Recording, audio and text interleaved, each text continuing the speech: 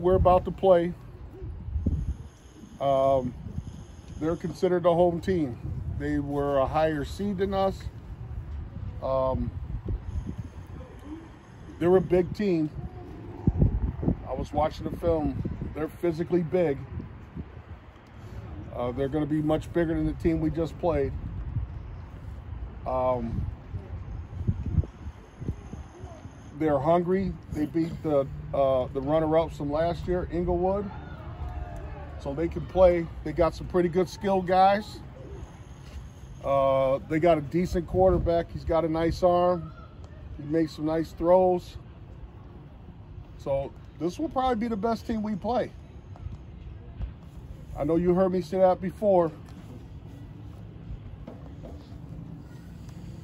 But looking at them on film, uh, there's some things about them. There's some things about them that we need to pay attention to. All right. Uh, we will, when we break from here, we will go into, uh, I think we'll hit special teams right away because you got to go, right, Snoop? Yes, sir. We're going to hit